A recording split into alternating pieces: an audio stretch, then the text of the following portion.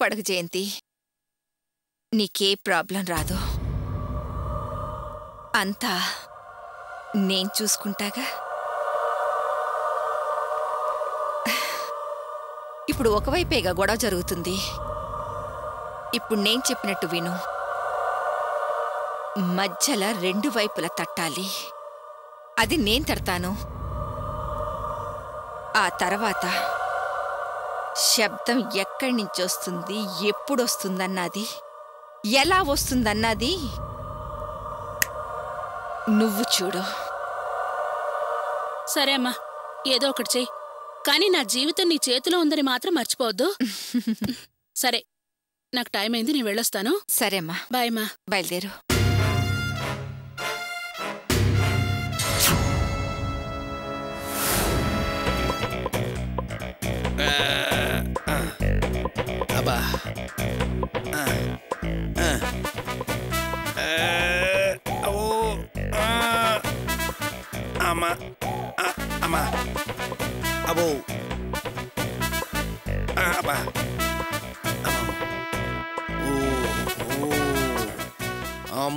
రాత్రి మందు ఎక్కువైనట్టుంది ఏ, తల పగిలిపోతోంది. అబ్బా. అమ్మో. అమ్మో. ఒళ్ళు నొప్పులు. తలనొప్పి అబ్బా. అమ్మా. అబో నాయన తల పగిలిపోతోంది బాబూ. అమ్మా? ఏమైంది? నువ్వా అమ్మా? కాస్త తలనొప్పిగా ఉందమ్మా. అమృతాంజన్ తీసుకురమ్మంటారా? వద్దమ్మా వద్దు వద్దు ఆ మందులేమీ పనిచేయవు. పోనీ టాబ్లెట్ ఇవ్వనా? వద్దమ్మా అవన్నీ మామూలు తలకాయ నొప్పులకమ్మా. నాలాంటి మేధావులకి అవేమీ పనిచేయవు. మరి ఇంకేం కావాలి నాన్నా? అది ఆ వద్దులే అమ్మా. నాకు కావాల్సిన మందు నేనే తెచ్చుకుంటాను. ఇదివరకు ఈ మందు విషయంలో నిన్ను పంపినందుకు మీ అమ్మకి నాకు పెద్ద యుద్ధమే జరిగింది. ఒక పని చేయమ్మా. ఆ మందు కోసం ఒక ముప్పై రూపాయలు అరేంజ్ చేశావంటే నేనే చూసుకుంటాను. ఏంటమ్మా ఆలోచిస్తున్నావు? సరే నాన్నా. ఆ.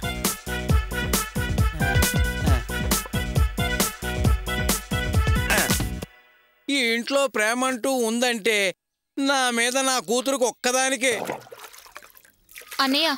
ఒక ముప్పై రూపాయలు ఉంటే ఇవ్వు. దేనికమ్మా? నాన్నకి తలనొప్పిగా ఉందంట మందు కావాలంట. ఆయన లేచాడా? తప్పుకో.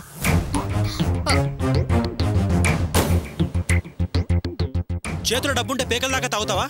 అయినా నీకు తాగుడు పిచ్చేంటి? నువ్వు ఇంక జన్మలో మారవా? గోపి ఏమిట్రా అలా మాట్లాడతావు? నీకింత కోపం రావటం నేను ఎప్పుడు చూడలేదే. మాట్లాడద్దు. ఆ, మనిషి పెరిగావు గాని నీకు అసలు బుద్ధి లేదు నాన్న. నీలో ఏ కోసమైనా పెద్ద మనిషి లక్షణాలు ఉన్నాయా నువ్వేమంటున్నావో నాకేం అర్థం కావట్లేదురా. ఆహా చేసిందంతా చేసేసి ఇప్పుడేం అర్థం కావట్లేదు అని అబద్ధాలు కూడానా? చూడు నాన్న తాగాలని కోరిక పుట్టినప్పుడు మనం చేసేది తప్ప రైటా అని ముందు వెనక ఆలోచించాలి. నువ్వు అసలు మనిషివేనా? ఒరేయ్ ఆపరా. ఇప్పుడు ఆయన ఏం చేశాడనరా అలా తిడుతున్నావు? ఆయన తాగడం ఈ రోజు ఏమైనా కొత్త విషయమా? ఆయన తాగొస్తే ఇప్పుడు మేమేగా తిడతాం? ఈ రోజు కొత్తగా నువ్వు తిడుతున్నావే? పెళ్ళం రాగానే నువ్వు బాగా మారిపోయావురా. ఇదేం బాగాలేదు గోపి. ఏంటమ్మా అర్థం లేకుండా మాట్లాడుతున్నావు? ఆయన చేసిన పని తెలిస్తే నువ్వు ఇలా మాట్లాడవు. ఆయన ఏమైనా చేసుండొచ్చురా అందుకని కన్న తండ్రిని పట్టుకొని ఇలా మర్యాద లేకుండా మాట్లాడతావా? ఇదే నీ పెళ్ళం ఇక్కడుండి? నువ్వు ఇలా తిట్టడం వినుంటే ఆయనకి ఎవరైనా మర్యాద ఇస్తుందా? దానికి ఆయన ఎంత లోకం అయిపోయి ఉండేవాడో తెలుసా? భాగ్యం పాయింట్ కరెక్ట్గా పట్టేశావు. ఇదిగో వాడి తలకెక్కేట్టు బాగా స్ట్రాంగ్గా చెప్పు.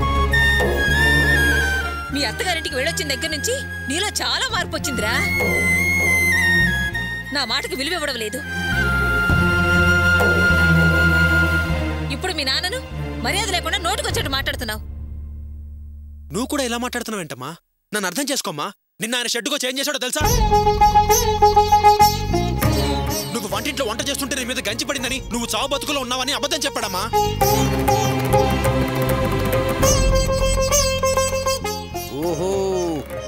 మ్యాటరా? హాస్పిటల్కి తీసుకెళ్ళడానికి డబ్బులు లేవు. గోపిని తీసుకురమ్మని మా వాళ్ళని పంపించేసి అనాథాశ్రమం ఉంటే ఎత్తుకుపోయాడమ్మా. పాపం అమ్మా అనాథ పిల్లలు. వాళ్ళకి వారం రోజుల పాటు వచ్చే భోజనం డబ్బులు అవి షెడ్డుకు వచ్చేవాళ్ళు ఐదో పదో ఇస్తుంటే నేను దాన్ని కలెక్ట్ చేసి వారం వారం తీసుకెళ్ళి వాళ్ళకి ఇస్తానమ్మా. వాళ్ళ పొట్టే కొట్టడం ఆయన దొంగతనం చేసి తాగడమే ఆయన బతుకైనప్పుడు ఇవన్నీ ఎందుకు ఆలోచిస్తాడ్రా? ఇంతకు ముందు ఎన్నిసార్లు మన కడుపు మీద కొట్టలేదు? ఇంట్లో ఉన్న రేడియో అమ్ముకొని తాగాడు. వాసు జీతం డబ్బులు ఎత్తుకుపోయి తాగాడు. అంతెందుకు? వీధిలో ఉన్న పంపు కూడా ఎత్తుకుపోయి అమ్ముకొని తాగేసి చివరకు జైల్లో ఉన్నాడు. నువ్వేగా వెళ్ళి విడిపించుకొచ్చావు? అప్పుడు ఒక్క మాట కూడా అనని వాడివి? ఇప్పుడు తిడుతున్నావంటే ఏమిటి అర్థం? అమ్మా ఏంటమ్మా నువ్వు? అసలు నేను చెప్పే రాగానే పెద్దవాడు అయిపోయాను అనుకుంటున్నావా? అమ్మా దానికి దీనికి ముడి పెడతావేంటమ్మా అనాథ పిల్లల డబ్బులు దొంగిలించాడని నా కోపం వచ్చిందమ్మా అంతే. అమ్మా నాన్న తప్పు చేస్తే అన్నయ్య తిడతావేంటి? ఏయ్ ఎన్ని తప్పులు చేసినా తండ్రి తండ్రే కొడుకు కొడుకేనే. ఆయన దొంగతనం చేయటం రోజు జరిగే విషయమే. అందుకని పెద్దవాళ్ళని కూడా చూడకుండా తిట్టేయడమేనా? సరే వదిలేయమ్మా. అన్నయ్య నువ్వు వెళ్ళి ముందు వదిన్ని తీసుకునిరా. అది కాదు రాణి నేను ఎప్పట్లాగే ఉన్నాను. కానీ అమ్మే ఈ మధ్య ప్రతి విషయానికి కోపం తెచ్చుకుంటోంది. అదే నాకు అర్థం కావట్లేదు. అదేం లేదన్నయ్య. నువ్వు వదిన అక్కడే వదిలేసొచ్చావు కదా. అదే అమ్మ కోపం. ముందు వెళ్ళి వదిన్ని తీసుకునిరా వెళ్ళన్నయ్యా.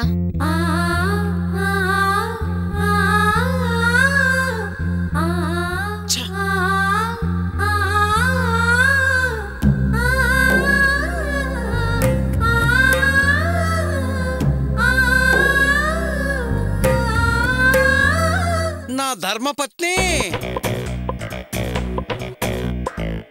నా ఇంటి మహాలక్ష్మి. నా ఇలవేల్పా నా కంటి వెలుగా. నా గృహలక్ష్మి. నా పరువు కాపాడిన నా పట్ట మనిషి. ఝాన్సీ రాణి. జగన్మోహిని. నా పాలిటి దేవత. భాగ్యం. ఇన్నాళ్ళు నువ్వు నన్ను తిట్టిన తిట్లికి నా చెవుల్లోంచి రక్తం ఏకధాటిగా ఏరులై పారేది. కానీ ఈరోజు ఈరోజు చెప్తున్నాను. తాళి కట్టిన భర్తనే కన్న కొడుకు ఎదురుగా తిడుతూ ఉంటే ఆవేశంతో మండిపడ్డావే అప్పుడు అప్పుడు ఆ భద్రకాళి నీలో కనిపించింది. నువ్వు కలియుగ సతీ సుమతివి. సతీ సావిత్రివి. సీతవి ద్రౌపదివి నలదమయంతివి. అందరూ కలిసి ఒకే రూపంలో నీలో పుట్టారు. ముగ్గురు పిల్లలు పుట్టినప్పుడు కలిగిన సంతోషం కన్నా ఇప్పుడు ఎంతో ఎంతో హ్యాపీగా ఉన్నాను. చూడు చూడు నా ఒళ్ళంతా ఎలా పులకరించిపోతోందో. నువ్వే నా భాగ్యలక్ష్మి అదృష్టలక్ష్మి నా ఇంటి ఇలవేలుపువి ఏమిటి భాగ్యం? నీ గురించి ఇంకా ఎంతో పొగడాలనుకుంటే అంతలోనే నీ రియాక్షన్ మారిపోయిందేమిటి? ఆ, మూలనున్న చీపిరి నీ వీ పగలగొట్టడానికి ఆ. ఎంతోసేపు పట్టదు. చిచి నువ్వు ఒక మనిషివేనా? ఆ, భాగ్యం. ఏమిటి భాగ్యం?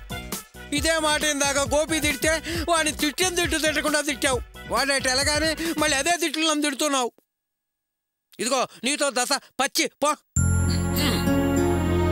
వాడు తిట్టడంలో తప్పే ఉంది. పాపం. ఆ అనాథ పిల్లల డబ్బులు తీసుకుపోయి వాళ్ళ కడుపు మీద కొట్టేవే? నువ్వు బాగుపడతావా? తాగుడు కోసం ఆ పసివాళ్ళ డబ్బునే దొంగిలించిన వాడివి. రేపు నన్ను తాకట్టు పెట్టైనా తాగమని గ్యారంటీ ఏముంది? నిన్ను తాకట్టు పెట్టుకునేవాడు ఉంటే ఎప్పుడో తాకట్టు పెట్టి తాగేచ్చావండి ఏంటి కొడుకుంటున్నావు ఏమీ లేదు భాగ్యం. ఇందాక గోపి తిడుతున్నప్పుడు నువ్వు నన్ను సపోర్ట్ చేసావు కదా. గోపి అటు ఎలాగానే నువ్వు నన్ను మళ్ళీ తిడతావేమిటి? ఏమిటో భాగ్యం. నేను అర్థం చేసుకోవటం నా వల్ల కావట్లేదు. నీకు సపోర్ట్ చేశానా? అది ఈ జన్మలో జరగని పని. ఆ, నీ అదృష్టం బాగుండి ఈ రోజు కోడలు ఇక్కడ లేదు. ఒకవేళ ఉండుంటే గోపి అలా మాట్లాడిన తర్వాత నీ పరువు మర్యాదలు ఏమైపోయి ఉండేవి? ఊరుకో భాగ్యం పరువు మర్యాద. ఎన్నడైనా దాని గురించి మనం ఆలోచించామా? అన్నీ తెలిసే నువ్వు అలా మాట్లాడతావు. నువ్వు ఆలోచించకపోవచ్చు. కానీ నేను అలా కాదు. కోడల ముందు గోపి నిన్నలా తిట్టుంటే ఈ కుటుంబ గౌరవం మొత్తం మంట కలిసిపోయేది. ఆ తర్వాత ఆ అమ్మాయి నిన్నే కాదు. నన్ను కూడా గౌరవించేది కాదు. అటువంటిది ఏమీ జరగకూడదని ముందుగా గోపిని హెచ్చరించాను. అంటే నువ్వు నన్ను పతిభక్తితో సపోర్ట్ చేయలేదా? పతిభక్తే నా పిండా కూడా. ముందు నీ మీద మర్యాద కలిగేలా నడుచుకో. కోడల ముందు నేను తలెత్తుకుని తిరగాలంటే ముందు నువ్వు ఏదైనా పని చేసి నాలుగు రాళ్ళు సంపాదించు. ఆ తర్వాత నీకెంతైనా సపోర్ట్ చేస్తాను. నాలుగు రాళ్ళ?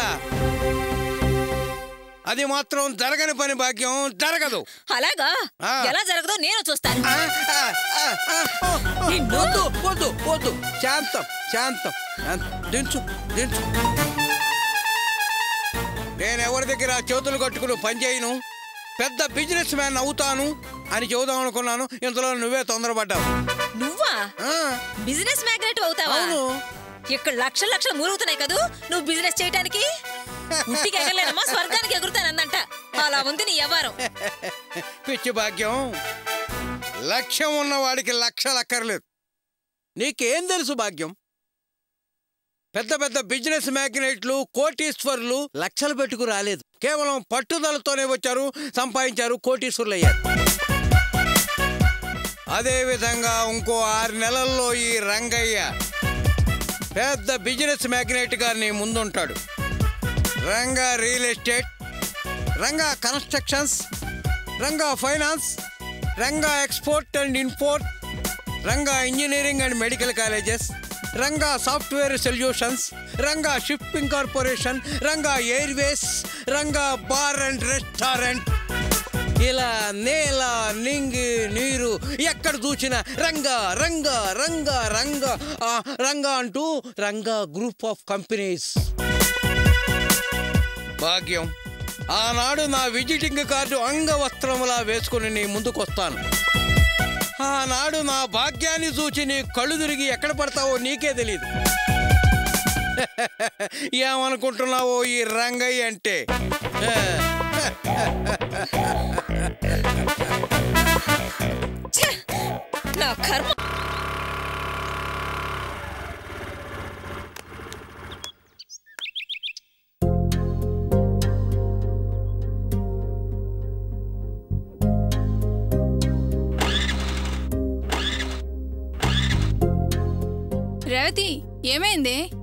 నువ్వు దిగవే. సరే ఎందుకు ఆగింది తెలియడం లేదే. పెట్రోల్ ఉందా? ఇందాకే టూ లీటర్స్ కొట్టించాను.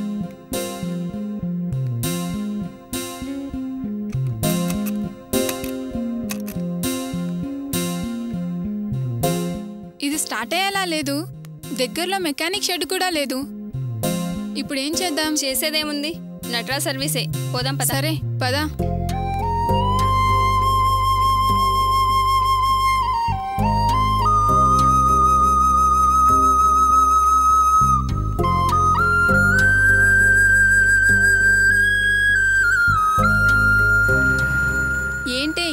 వచ్చినా ఒక్క మెకానిక్ షెడ్ కనిపించట్లేదు. ఏం చేద్దాం? పదా చూద్దాం.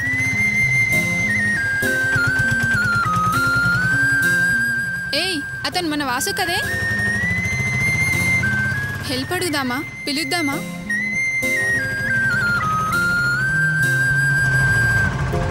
ఏయ్ వాసుని పిలుద్దామే ప్లీజ్. వాసు వాసు ఆపండి.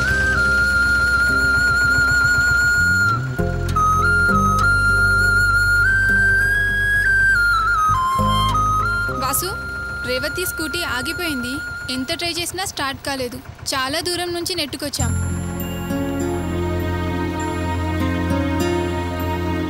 చాలా కష్టంగా ఉంది వాసు. కొంచెం హెల్ప్ చేయవా? Please. Please Vasu please. Help చేయవా?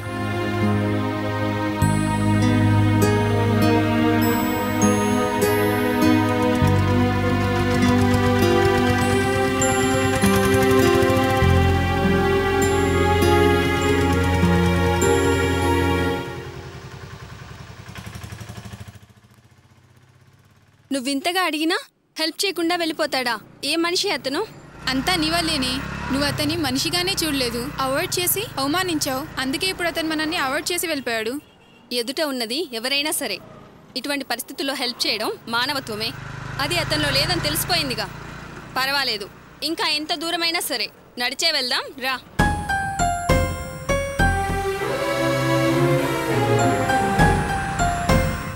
ఏంటమ్మా బండి రిపేరా? అవును.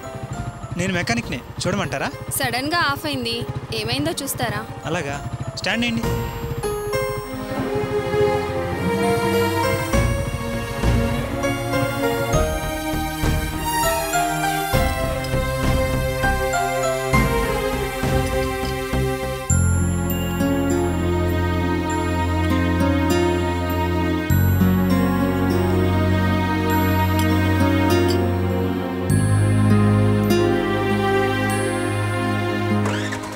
ప్రాబ్లం ఏం లేదు మేడం. చిన్న మ్యాటరే. బాగు చేశాను చాలా థ్యాంక్స్ అండి. ఎంత ఇమ్మంటారు? డబ్బే వద్దండి. సార్ ఇచ్చేశారు. సారా? ఏ సారు? మీ పేరు రేవతే కదండి? అవును. వాసు గారు మీ బండి నెంబర్ చెప్పి రిపేర్ చేయమని చెప్పి పంపించారు.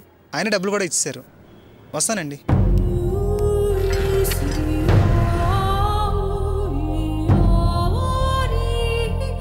చూసావా? వాసు ఎంత మంచివాడో? నీ మాటలకు విలువిచ్చి నీ మొహం కూడా చూడకుండానే నీకు కావాల్సిన సహాయం చేశాడే. ఇప్పటికైనా అర్థం చేసుకోవే.